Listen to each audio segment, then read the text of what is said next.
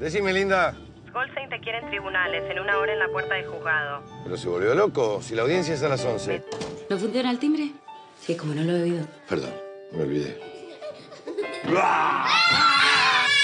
Sobre todo es una película que yo creo que cubre las expectativas de lo que es una película de género. Suspense, tensión.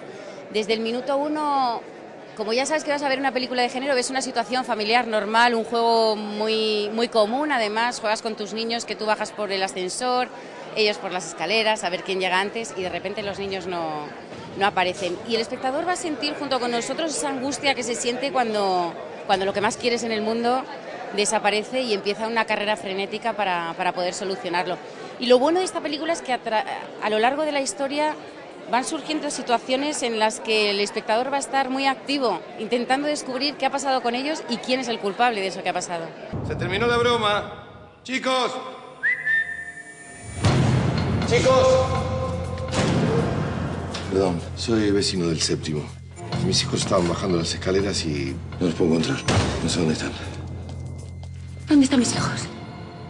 Bueno, se sabe que Ricardo Darín es un actor muy distendido. ¿Cómo fue compartir la grabación con él?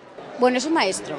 Yo he de decir que es cierto que a mí me sorprendía muchas veces que mm, dos segundos antes de que el director dijera acción, él estaba bromeando con el equipo. Se dice de él que tiene mucha facilidad, pero también es verdad que intenta hacer cada personaje diferente y en este hemos podido hacerlo porque hemos podido hablar con el director y discutir con el director cada uno de nuestros personajes y hemos intentado hacer algo diferente de lo que, de lo que suelen ver. Hay muchas veces que tú eliges un proyecto porque quieres trabajar con un determinado director y hay veces que no te ha llegado el guion todavía, te dicen que vas a trabajar con ese director y casi dices que sí antes de, de leerlo.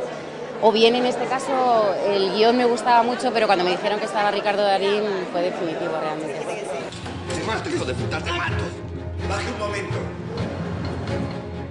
Temete las consecuencias.